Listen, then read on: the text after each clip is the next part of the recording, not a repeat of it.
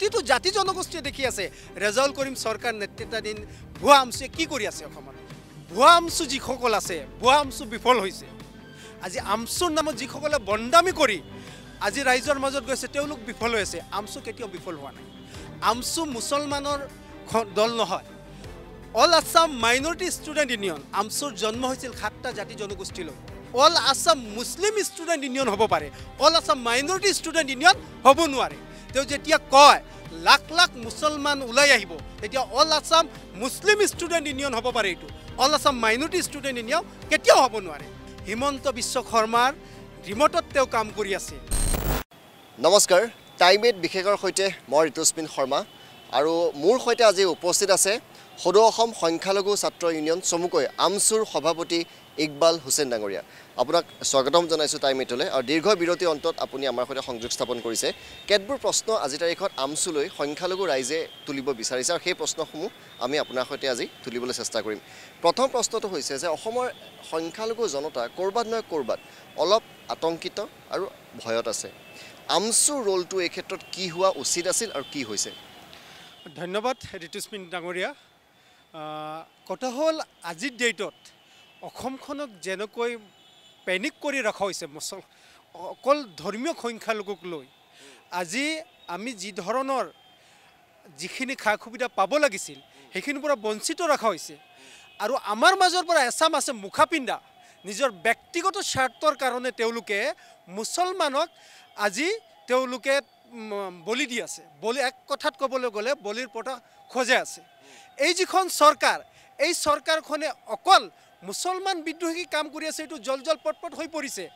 আৰু তাৰ লগত কিছুমান মুছলমান নেতাক আমাৰ মাননীয় মুখ্যমন্ত্ৰীয়ে তেওঁলোকক অলপ তেওঁৰ এগেইনষ্টত কথা কোৱাৰ কাৰণে এটা প্ৰি প্লান কৰি ৰাখিছে। তেওঁ যিমান আজি মুছলিম বিৰোধী কথা ক'ব আৰু মুছলমান যে কিছুমান মুখা পিন্ধা নেতাই তেওঁক যিমান আজি তেওঁক তুচ্ছ তাচ্ছিল্য কৰিব তেওঁ আৰ এছ এছৰ ইমান ফলীয় হ'ব বা আৰ এছ এছৰ ইমান তেওঁ আপোন হৈ পৰিব। আজি বিশেষকৈ দেখা গৈছে যি সময়ত মাদ্ৰাছা ভাঙা হৈ আছে। কিছুমান আমাৰ মাজৰ মুখা পিন্ধা ৰাজনীতিবিদ আছে তেওঁলোকৰ ঘৰৰ সন্মুখত সেই মাদ্ৰাছাখন আছিল যেতিয়া চৰকাৰে সেই নটিচখিনি দিছিল তেওঁলোকে তাত গৈ আন্দোলন কৰিব পাৰি পাৰিলেহেঁতেন। তেওঁলোকে তাত গৈ জিলা প্ৰশাসনৰ লগত আলোচনা কৰিব পাৰিছে। সেই নটিচখনত কি দিয়া আছিল?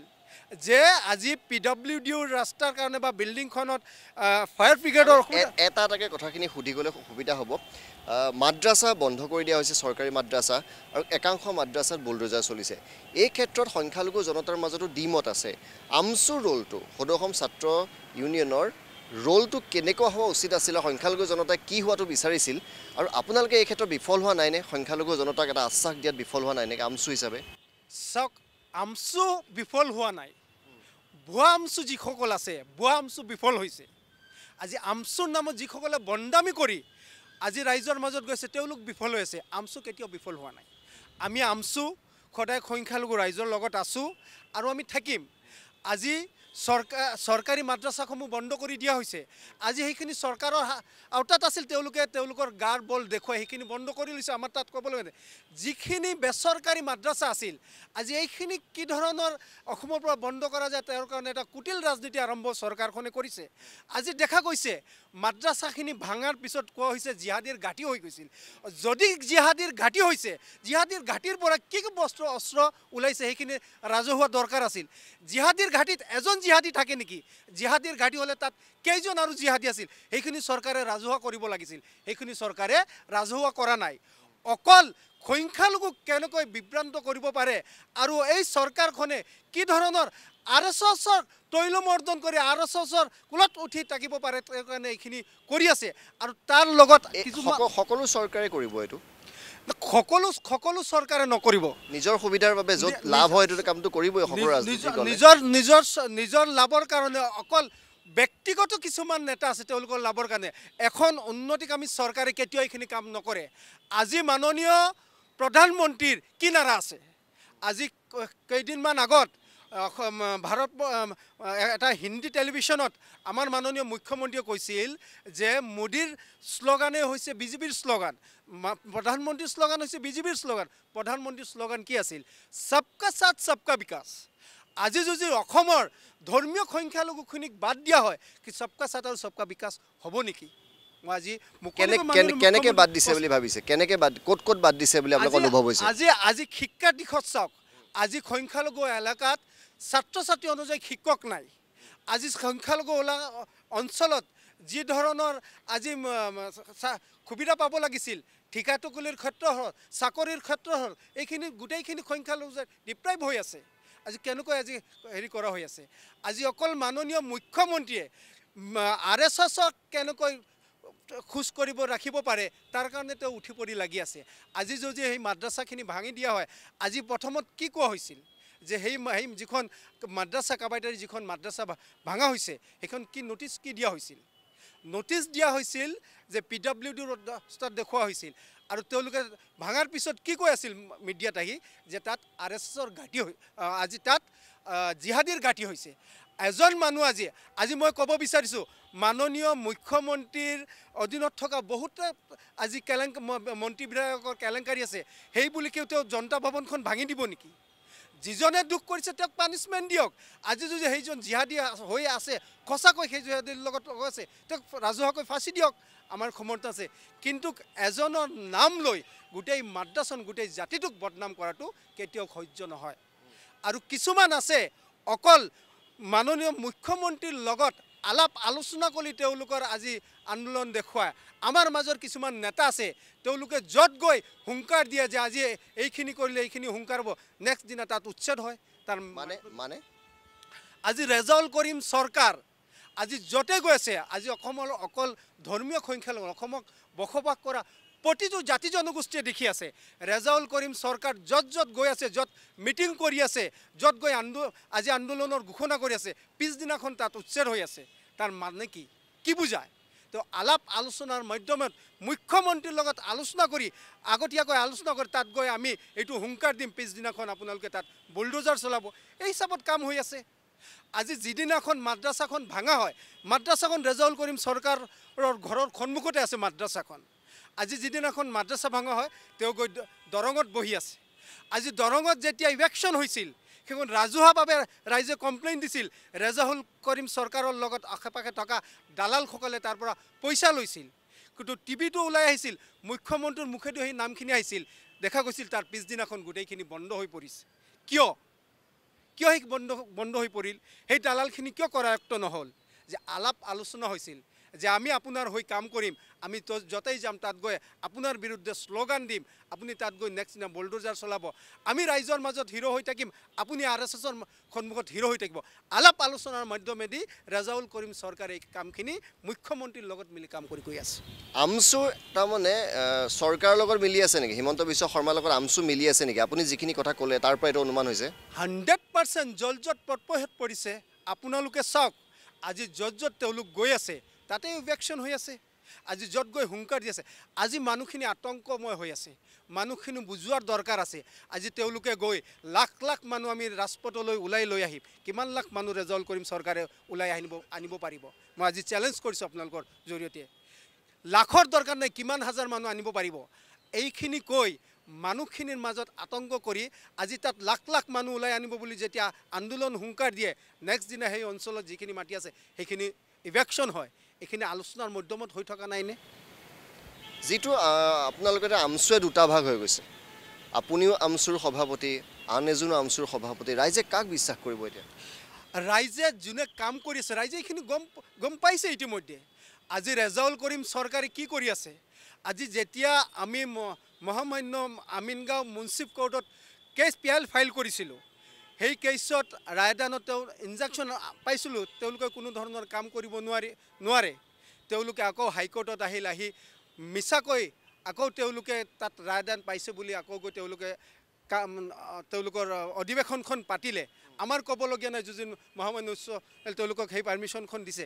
কিন্তু কথা হৈছে তেওঁলোকে এই সংখ্যালঘু ৰাইজক লৈ দালালি কৰি আছে নাই এইখিনি আজিৰ ডেটত অসমৰ অকল ধৰ্মীয় সংখ্যালঘু ৰাইজে নহয় অসমত বাস কৰা প্ৰতিটো জাতি জনগোষ্ঠীয়ে এইটো ইতিমধ্যে গম পাইছে।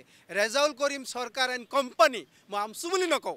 ৰেজাউল কৰিম চৰকাৰ এণ্ড কোম্পানী আজিৰ ডেটত যিখন সংখ্যালঘু অঞ্চলত গৈছে সেইখন সংখ্যালঘু অঞ্চলত আজি ইভেকশ্যন হৈ আছে সেই তাত ৰাইজৰ ওপৰত নিৰ্যাতন চলি আছে। আজি ৰেজাউল কৰিম চৰকাৰৰ এণ্ড কোম্পানী যোন খত খাওক আছিল সেই মাদ্ৰাছাখন তেওঁৰ ঘৰৰ সন্মুখত। যেতিয়া জিলা প্ৰশাসনে সেই নটিচখন দিছিল তেওঁৰ যোন খত খাওক আছিল আজি তেওঁ দুবুৰীত গৈ লাখ লাখ সংখ্যালঘু ৰাইজক ৰাজপথত ওলাই অহাৰ কাৰণে আহ্বান কৰি আছে। অকল তেওঁ কি ধৰণে মুখ্যমন্ত্ৰী সেই মাদ্ৰাছাখন যিখন যোগীঘোপা মাদ্ৰাছা মানে বুলডোজাৰ চলিলে সেইখন কাৰ ঘৰৰ ওচৰত বুলি কৈছে আৰু ৰেজাউল কৰিম চৰকাৰ ভুৱা আমচুৰ সভাপতি। ৰেজাউল কৰিম এণ্ড চৰ কোম্পানীৰ মেনেজিং ডিৰেক্টৰ ৰেজাউল কৰিম চৰকাৰ ঘৰৰ সন্মুখত সেই মাদ্ৰাছাখন আছে। আজি যেতিয়া চৰকাৰে সেই নটিচখন দিছিল তেওঁৰ দায়িত্ব আছিল তেওঁ যদি তেওঁ আজি যেনেকৈ বুক টুকি কৈ আছে সংখ্যালঘুৰ কাৰণে তেওঁ কাম কৰি আছে তেওঁ নটিচ পোৱাৰ লগে লগে তেওঁ যাব পৰা নাই।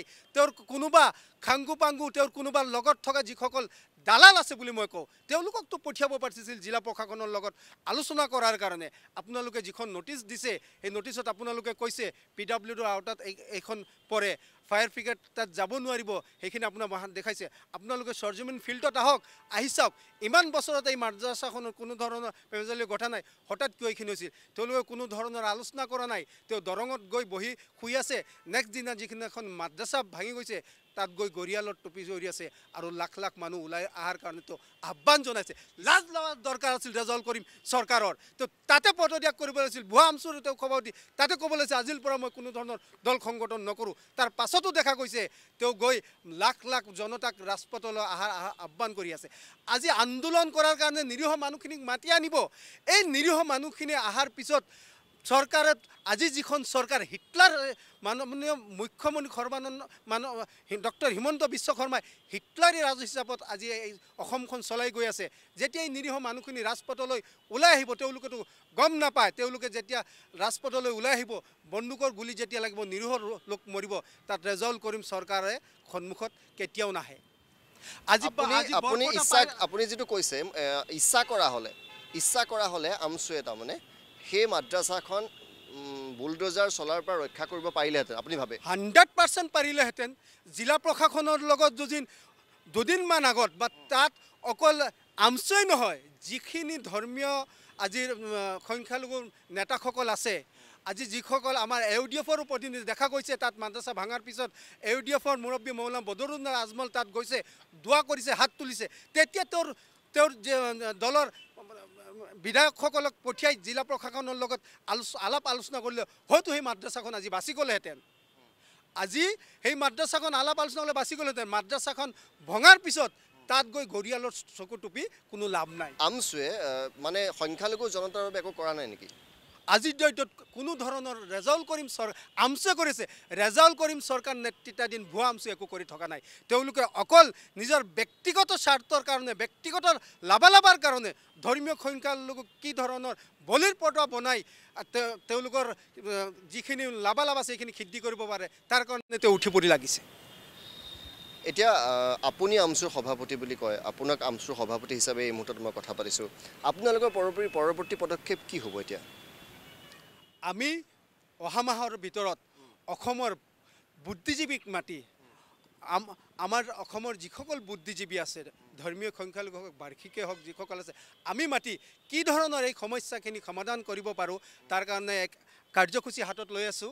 আৰু সেই কাৰ্যসূচীৰ পৰা আমি অনাগত দিনত আমচুৰ বেনাৰত। আমচুৰ বেনাৰত অনাগত দিনত অসমৰ বসবাস কৰা সংখ্যালঘুটোক আমি কেনেকৈ আগুৱাই লৈ যাব পাৰোঁ সেইখিনিৰ কাৰণে আমি এটা আলাপ আলোচনাৰ মাধ্যমেৰে এইখিনি কাম কৰি যাম।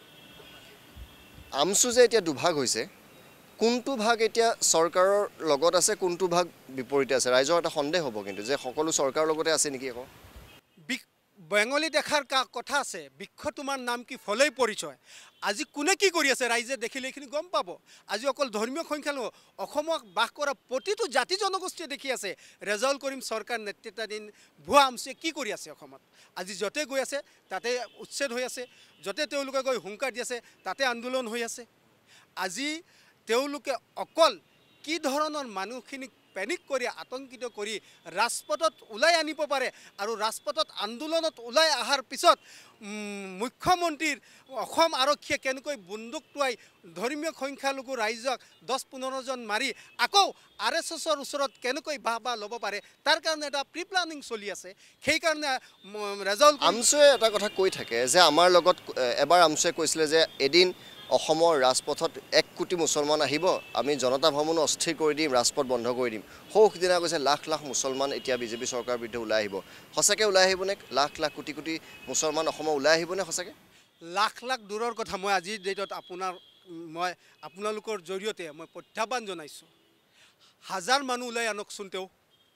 আৰু এইখিনি তেওঁ এই কাৰণেই কৰি আছে মুখ্যমন্ত্ৰীৰ লগত আলাপ আলোচনা কৰি আছে। যে আজি যদি এই লাখ লাখ মানুহ কোৱাৰ পিছত যিমানখিনি মানুহ আহিব অহাৰ লগে লগেই আজি অসম অসম আৰু অসম আৰক্ষীয়ে বেটা দিয়াৰ নামত গুলি ফুটাব আৰু তাত দহ পোন্ধৰজন মুছল ধৰ্মীয় সংখ্যালঘু তাত শ্বহীদ হ'ব মৃত্যুবৰণ কৰিব। আকৌ মাননীয় মুখ্যমন্ত্ৰী আৰ এছ এছৰ বাহবা ল'ব। আমচুৰ কিছুমান কথা বতৰাই এনেকুৱা নালাগেনে শুনিলে? আপোনাকো মই আমচুৰ সভাপতি হিচাপে কৈছোঁ যে হিন্দুসকলৰ মনত কিছুমান কথা দুখ লাগে। হিন্দুৰ মনত বেজাৰ লাগে কিছুমান আমচুৰ কথা বতৰাই। এই ধৰণৰ কথা বতৰাই সংঘাতবিলাক আৰু বৃদ্ধি নকৰিবনে? লাখ লাখ মুছলমান ৰাজপথলৈ ওলাই আহিব জনতা ভৱন অস্থিৰ কৰি দিম কোটি কোটি জনতাই গোটেই অসম স্থবিৰ কৰি দিব আমচুৰ ফালৰ পৰা যেতিয়া এনেকুৱা ধৰণৰ কথা আহে তেতিয়া হিন্দুসকলৰ মনত দুখ নালাগেনে? এটা আৰু এটা সংঘাত সৃষ্টিৰ দিশে আমি গৈ থকা নাইনে? আজি চাওক আমচুৰ কোনো মুছলমান তেওঁ যেনেকৈ কয় লাখ লাখ মুছলমান ৰাজপথলৈ ওলাই আহিব। আমচু মুছলমানৰ দল নহয়। All Assam minority student union amchur জন্ম হৈছিল সাতটা জাতি জনগোষ্ঠীলৈ। এছাম ৰেজাউল কৰিম চৰকাৰৰ নিচিনা মানুহৰ কাৰণে সেই মানুহখিনি আমাৰ ফালৰ পৰা আঁতৰি গৈছে। আজি ধৰ্মীয় সংখ্যালঘু বাৰ্ষিক সংখ্যালঘু নেপালী খ্ৰীষ্টান আদিক লৈ আজি আমচুৰ গঠন। আজি আমাৰ লগত সাতটা জনগোষ্ঠীৰ মানুহ আছে ধৰ্মীয় সংখ্যালঘুও আছে বাৰ্ষিক সংখ্যালঘু আছে খ্ৰীষ্টানো আছে বুদ্ধিষ্টো আছে আমাৰ লগত। আজি তেওঁ যেতিয়া মুছলমান বুলি ওলাই আহিব বিচাৰে তেওঁলোকে তেওঁলোকে তেওঁ আমচু কেনেকৈ দাবী সেইটো all Assam Muslim student union হ'ব পাৰে। All Assam minority student union হ'ব নোৱাৰে। তেওঁ যেতিয়া কয় লাখ লাখ মুছলমান ওলাই আহিব তেতিয়া all Assam Muslim student union হ'ব পাৰে এইটো। All Assam minority student union কেতিয়াও হ'ব নোৱাৰে। অ আমচুৱে সদায় অসমৰ হিতে কাম কৰি গৈ আছে। অসমৰ প্ৰতিটো জাতি জনগোষ্ঠীক আগুৱাই লৈ যোৱাৰ কাৰণে কাম কৰি আছে। তেওঁ যোন হুংকাৰ দিছিল ক'ব লাগিছিল অসমৰ বসবাস কৰা লাখ লাখ মানুহে মুছলিম বুলি ক'ব কেতিয়াও নালাগিছিল। ইয়াত কি বুজায়? তেওঁ ডিবেট আনিব বিচাৰি আছে আৰু তেওঁ অকল মই কৈছোঁ নহয় হিমন্ত বিশ্ব শৰ্মাৰ ৰিমটত তেওঁ কাম কৰি আছে। মুছলমান শব্দ ইউজ কৰি মানুহখিনি আনিলে তেতিয়া অসম আৰক্ষীয়ে গুলিটো ফুটাই অলপ বাহ বাহ ল'ব পাৰিব। মুখ্যমন্ত্ৰী আৰ এছ এছৰ ওচৰত বাহ বাহ পাব। সেইকাৰণে মুছলিম শব্দ বুলি তেওঁ কৈ আছে। আমি কি কৈছোঁ? আমি অসমক বসবাস কৰা প্ৰতিটো জাতি জনগোষ্ঠীক লৈ আমি এক চক্ৰ আলোচনা চক্ৰ কৰিম। তাৰ পৰা কি ধৰণৰ আমি আগুৱাই লৈ যাব পাৰিম? অসমত বসবাস কৰা প্ৰতিটো জাতি জনগোষ্ঠীৰ লগত অসমত বাস কৰা সংখ্যালঘু ৰাইজখিনি কেনেকৈ আগুৱাই লৈ শেষ- শেষ প্ৰশ্ন। এইখন চৰকাৰৰ লগত হিমন্ত বিশ্ব শৰ্মাৰ এইখন চৰকাৰৰ লগত আমচুৱে যুঁজ দিব পাৰিবনে? আমচুৱে যুঁজ দিব পাৰিব। আমচুৱে যুঁজ দিব পাৰিব কিন্তু এচাম মুখাপিণ্ডা আমাৰ মাজৰ পৰা ভদ্ৰ নেতাই কিন্তু সেই যিখিনি যুঁজ দিয়াৰ কাৰ্যসূচীৰ আগত সেই কাৰ্যসূচীখিনি বিফল কৰি পেলায়। আজি আমি অসমত বাস কৰা প্ৰতিটো জাতি জনগোষ্ঠী বা আমচু মাইণ্ড ষ্টুডেণ্ট ইউনিয়নৰ যোন আমি মজিয়াত আমি সকলোকে আস্থাক লৈ ধৰ্মীয় সংখ্যালঘু বাৰ্ষিক সংখ্যালঘু খ্ৰীষ্টান নেপালী মানুহক আমি লগত লৈ আমি যোন আলোচনা কৰি আমাৰ আন্দোলনখিনি আগুৱাই লৈ যাওঁ আমাৰ কথাখিনি কওঁ তেতিয়া হয়তো আমি হিমন্ত বিশ্ব শৰ্মা চৰকাৰৰ লগত যুঁজ দিব পাৰিম। যদি ৰেজাউল কৰিম চৰকাৰ নিচিনা কোম্পানী হিচাপত কাম কৰি অকল মুখ্যমন্ত্ৰীৰ লগত আলোচনা কৰি কি ধৰণৰ মুখ্যমন্ত্ৰীক আৰ এছ এছৰ কোলাত বহা বহাব পাৰি আৰ এছ এছৰ কেনেকৈ পঞ্চমুক্ত কৰিব পাৰি তেনেকৈ হ'লে কিন্তু চৰকাৰখনৰ লগত যুঁজ দিয়া আমাৰ অসম্ভৱ ধন্যবাদ জনাইছিলোঁ। আৰু সেয়া আছিল আমচুৰ সভাপতি ইকবাল হুছেইন ডাঙৰীয়া। ইয়াৰ লগে লগে আমি টাইমেট বিশেষ অনুষ্ঠানৰ পৰা এই মুহূৰ্তত বিদায় লৈছোঁ।